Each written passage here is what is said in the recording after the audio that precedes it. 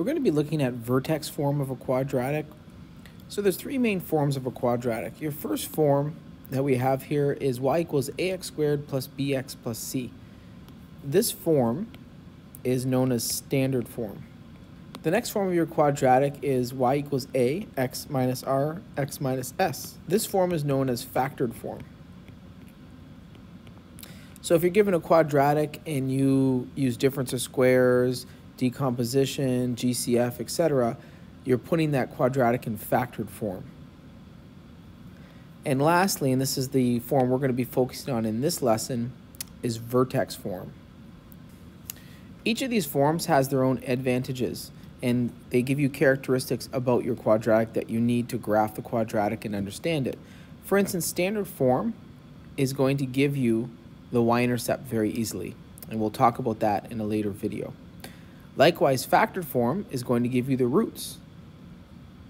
And lastly, vertex form, you guessed it, gives you the vertex of your quadratic. Um, all three of these forms actually give you the direction of opening, and again, we'll talk about that. Okay, let's take a look first at this idea of the direction of opening of your quadratic. How can you figure out if your quadratic is opening up or opening down. Where you look to decide that is you look at the A value. Notice your A value for your vertex form is sitting right here. This is in vertex form. And because this is in vertex form, I know my A value here is 2. If your A value is positive, your quadratic will always open upwards. The reason for that is this expression right here will always be greater than or equal to 0. Why is that the case?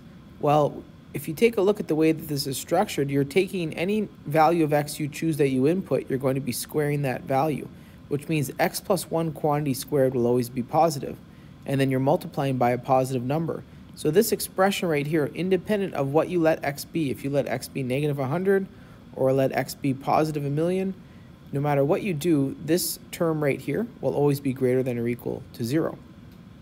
So that means that as I choose values that are further and further to the right and left of my quadratic, this will get larger and larger and larger. For example here, take a look here. Suppose I were to let x equal 2.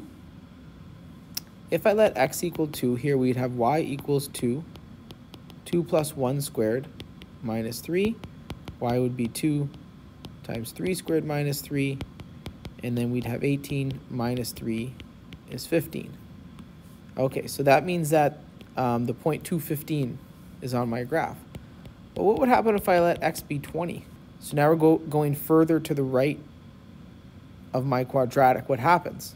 So maybe, and again, I'm just estimating, maybe this is the point 215. Now let's say I let x be 20. What output do you get? Well, you're going to get 20 plus 1 squared minus 3 and then y is going to equal 2 times 21 squared minus 3. If you calculate that, you'll notice you get 879. So therefore, by going over 20, now we're maybe right here, we're at the point 20, 879. All right.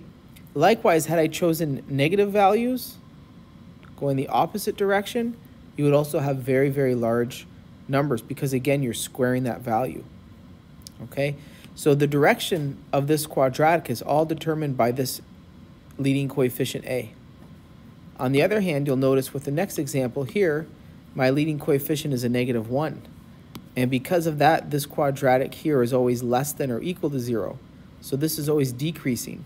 So this quadratic will open downwards. And again, you can see that with some examples, right?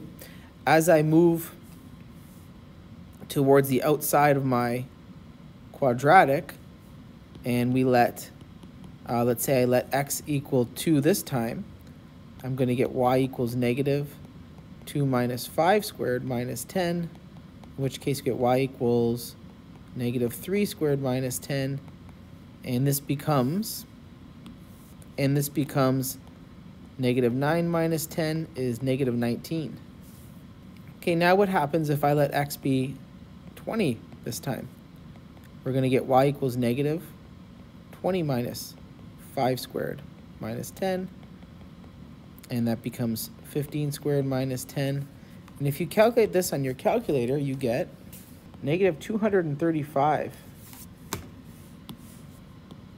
So again, you can see here, as I move towards the right-hand side, our first point was the point 2, negative 19. This next point at 20 was far lower.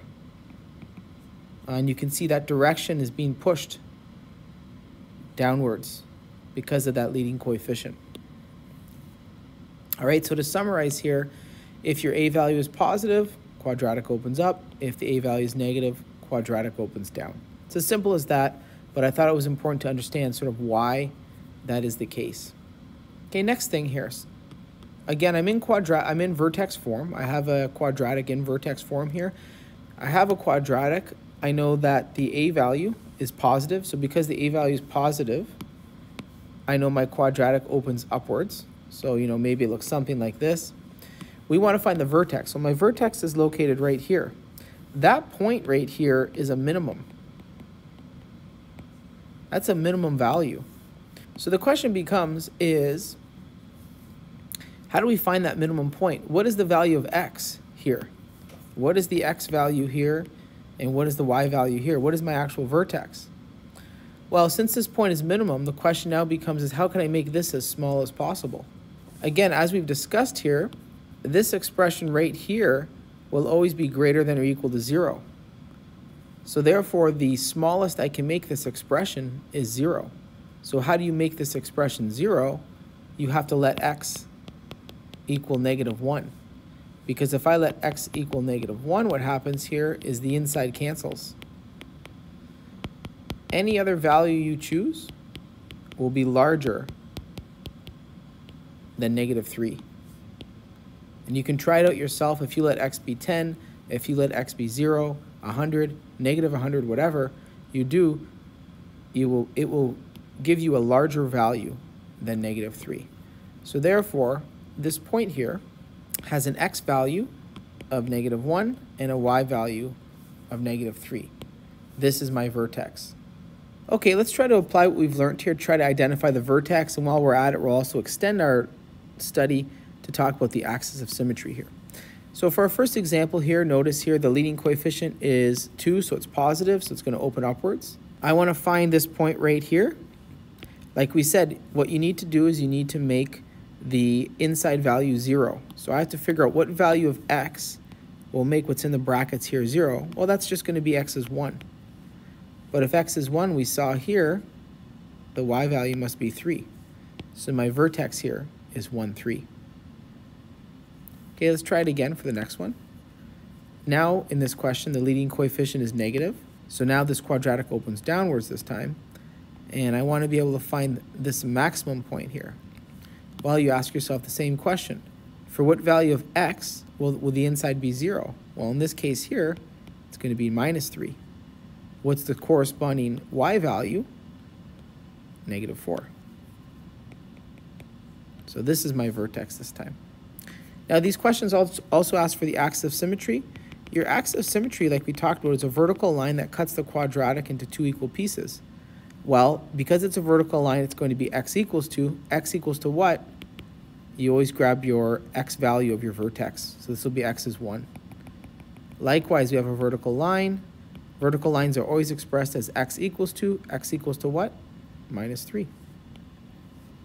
So this is my axis of symmetry. Okay, let's continue on. Now this is actually in vertex form. We just got to adjust it a bit to make it kind of fit the formula for vertex form. So there's my a value. I'm just going to write an x plus 0 squared minus 8.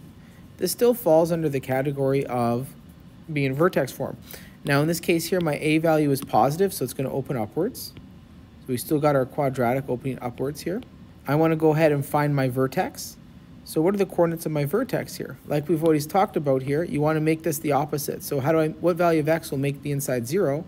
That'll be x is 0. This value right here is my y coordinate. So my vertex here is 0, negative 8. The axis of symmetry is a vertical line. It's going to cut the quadratic into two equal pieces. Because it's vertical line, it's going to be x equals to. x equals to what? It's always going to be x equals to your x coordinate.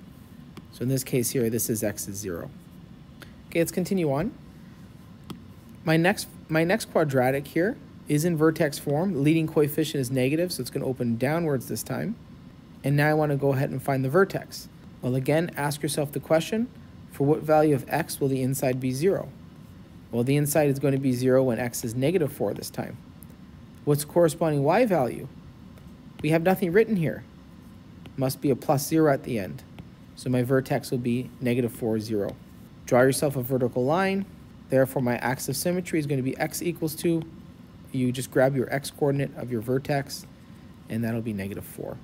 Okay, that concludes this lesson. Uh, introduction to given a quadratic in vertex form, how do you find the vertex? How do you find the axis of symmetry? And how do you know the direction of opening? So please review this. Thank you.